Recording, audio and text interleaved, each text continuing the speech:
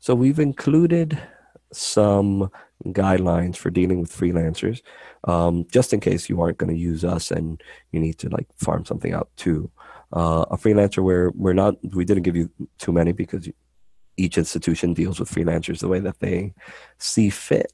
Um, but um, there are some guidelines that we would suggest, and it's something along the lines of what Tim had said a long time ago, but it bears repeating now. Where, for example, if we're working the well formed document workflow, make sure you tell your freelancers that they're to keep things the way they are. Do not let them introduce like errors that are going to create issues later on.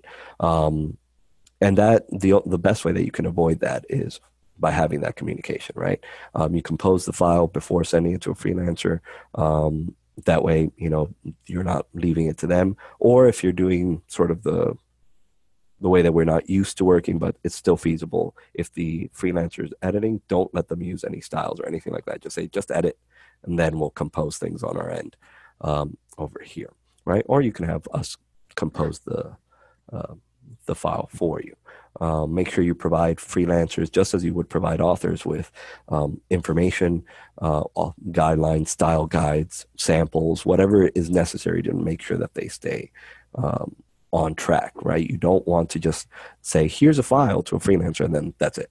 You want to be able to say, hey, this is what I'm expecting, just as you would with your authors. Um, you know, make sure that the freelancer uses track changes, that they're not just sending you a file that's edited.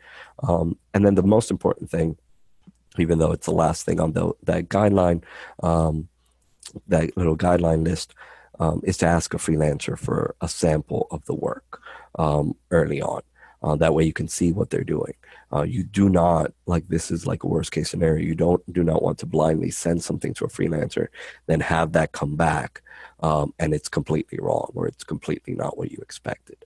Um, that is a nightmare scenario because then now you have to scramble against your schedule, against like what you've told the author and all this other stuff. So, um, you know, um, I don't know if Karen wants to um, jump into say anything about like how we deal with freelancers in the OTN, but I would assume it's how we deal with things here at Scribe, which is we use them, we try to use them sparingly, but um, if that's the case, um, then we make sure that you we provide as much information as possible.